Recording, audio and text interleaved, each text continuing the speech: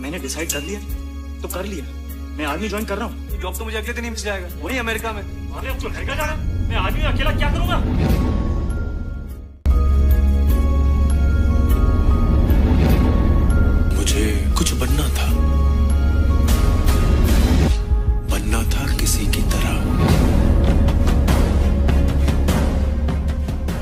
प्रीतम किस प्रोजेक्ट्स में कर चुके हैं साथ काम? क्यों आमिर ने चुना प्रीतम को? इन सभी सवालों के जवाब आपको इस वीडियो में मिल जाएँगे तो बने रहे हमारे साथ इस वीडियो के अंत तक।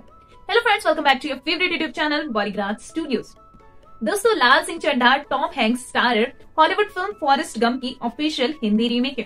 फ़िल्म में आमिर खान के अलावा करीना कपूर खान, नागा चैतन्य और मोना सिंह भी अहम भूमिका में नज़र आएँगे। फ़िल्म लाल सिंह चड्ढा अपनी शेड्यूल डेट पर ही रिलीज़ होगी।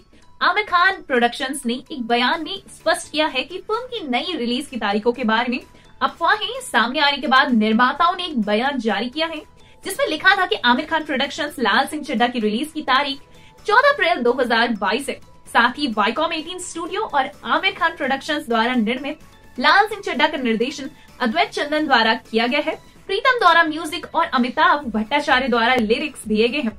फ़िल्म को अतुल कुलकर्णी द्वारा रूपांतरित किया गया है।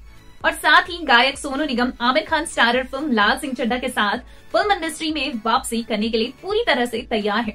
इस बार वो प्रीतम के लिए गाना गाएँगे, जिन्होंने फ़िल्म के लिए म्यूज़िक तैयार किया है। हालाँकि यह सोनू और प्रीतम के बीच पहला सहयोग नहीं है।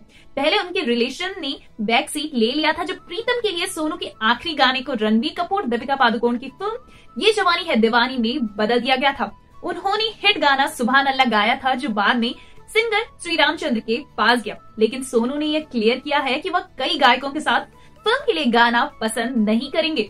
और उन्होंने यह भी बताया कि उन्हें कभी भी किसी गायक के साथ कोई प्रॉब्लम नहीं थी, क्योंकि वह इतने इनसिक्योर पर्सन नहीं है। प्रीतम के साथ फिर से जुड़ने के बारे में बात करते हुए सोनू ने हाल ही में मीडिया को बताया कि कैसे प्रीतम ने रिस्पेक्ट के साथ गाने के लिए उनसे अच्छी तरह से कांटेक्ट किया। उन्होंने साझा किया कि यह आमिर और निर्माता थे, जिन्होंने गाने के लिए सोनू को लेने के लिए का फैसला किया था। वहीं ये जवानी है दीवानी के गाने के साथ अपने अनुभव के बारे में बताते हुए उन्होंने कहा कि मुझे लगता है कि मैंने वह गाना बहुत अच्छा गाया था, लेकिन वह गीत श्री रामचंद्र के लक में था, इसलिए उन्हें मिल गया। तो दोस्तों, आज की इस वीडियो में बस इतना ही। हम फिर मिलेंगे एक नई वीडियो के साथ। तब तक खुश रहें और सेफ़ रहें